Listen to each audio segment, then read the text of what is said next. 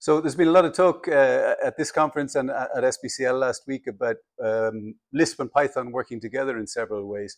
Um, we've had the, the, the, the coroutine twins there, um, um, Charles and uh, Kartik, uh, uh, working away on, on, on uh, uh, SBCL Librarian, which is a, a, way of taking your cool Lisp library and making it accessible from for someone who's working in Python. I understand their use cases, people like physicists who may not be either uh, interested or competent or have the time to learn Lisp and they want to work within uh, within Python. So they're, they're supplying them with uh, a Lisp library.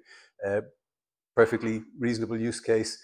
Uh, Marco yesterday was talking about his cool library, uh, PetaLisp, which works in Lisp, which is fantastic, but he, would like a bit more reach.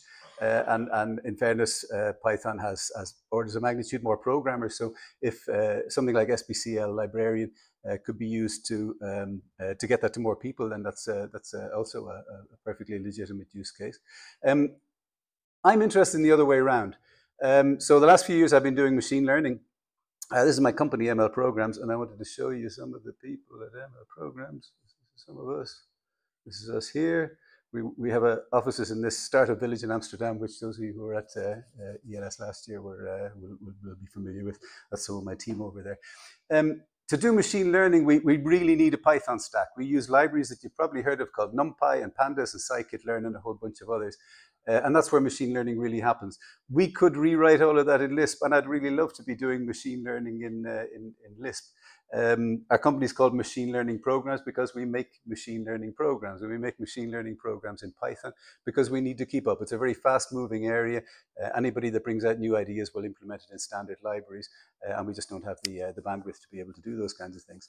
Um, so I would like to be able to program in Lisp for all the obvious reasons. Lisp has a much superior uh, set of uh, abstractions than, uh, than Python does. The libraries that we work with uh, NumPy and Pandas uh, were initially made for a single use case, uh, and then they were adapted to other use cases, and they sort of just grew. So there, there was no consistent. Somebody sat down and said, "What's the what's the real uh, API that we want to use here? What's the interface that we want to work with?" Indeed, there's a, a work going on at the moment on a library called Polars, which is uh, being worked on in Amsterdam. It's uh, intended to be a replacement for Pandas. It's more self-consistent, more coherent, uh, and we've been uh, evaluating it, and we find that it, it, it certainly is. You've got a, a coherent set of uh, uh, things to to interface to it. So I, I sort of thought, what, what is it that I would like? So this is kind of my wish list. So would you would you mind? Thank you. Now I'm going to go back to the other one here. Want the terminal, please. Okay. Um, let me find first where I am. Let's go here. I want to just show you uh, real simple. This is a piece of Python and it does a really simple piece of machine learning. If you look at the first five lines, these are all Py uh, uh, Python imports in, in different kinds of ways. The first couple are sort of standard ways to import NumPy and Pandas as NP and PD, uh, abbreviations for them. And the other, uh, the next three lines import uh, uh, individual functions. The next thing we do is we, we, we pick a, machine learning technique called k-nearest neighbors, and we, uh, we start up a k-nearest neighbors uh, uh, uh, instance, and we're using four neighbors in this case. The next line is where we load the data set. We're holding this iris data set. It's about flowers. It's got four measurements for each flower. And based on the four measurements, you should be able to say which of three different species of iris it is. Um, this chunk here is uh, what's called a train test split. We're splitting our data into the bit we want to use to train the model and the bit we want to use to test the model. And all of these are tools that come out of those libraries that uh, we imported in the first five or six lines. Underneath, we fit the model, and then we try out the fitted model on the, uh, the testing part, and we print these things out and see what happens. And if I do something like that, uh, no, I need to work on something first. Uh, SBCL, I think I called it. Python uh, iris.py, uh, and it grumbles away for a few minutes, and then it says, these are the results that we got, and these are uh, the, the, the, true values. So you can see this is reasonably good.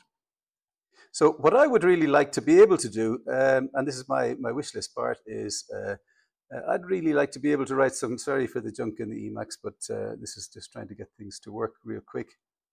there's that one there. Can I go something like that? And if I can go iris.py. Then you can see these, it looks a bit odd, but anyway, you can see these two things beside each other. On the right-hand side is what I really want to do. Uh, I want to be able to just quick load NumPy, Pandas, scikit-learn straight into my Lisp.